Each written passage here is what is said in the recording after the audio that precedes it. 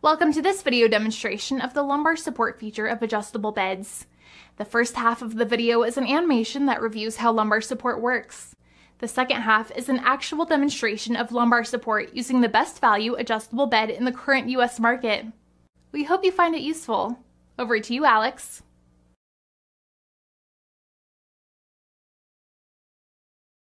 Lumbar support. This is especially useful for those of us that have back pains in the lumbar region. This little gadget that jumps out will provide extra support to your lumbar area, relieving you of certain pains. Don't worry, you don't have to keep it turned on all the time.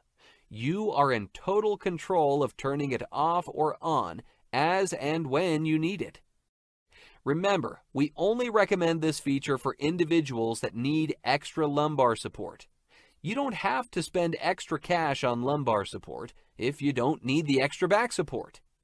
However, the extra lumbar support can be very soothing, even for individuals that don't have any backaches.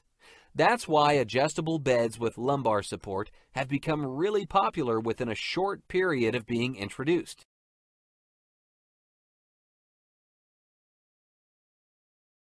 Now, let me demonstrate the lumbar support feature on this bed. There are two buttons that move the lumbar bar up and down.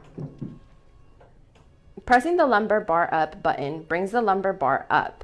You can bring it all the way up or stop halfway as you'd like. This way, you can control how much pressure you have on your back. I want to emphasize one point here. You might think that the lumbar bar is actually pushing on your butt rather than your lower back.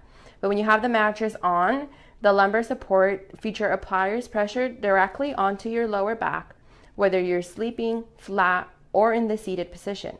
Of course, you're free to move up and down until the bed hits your sweet spot.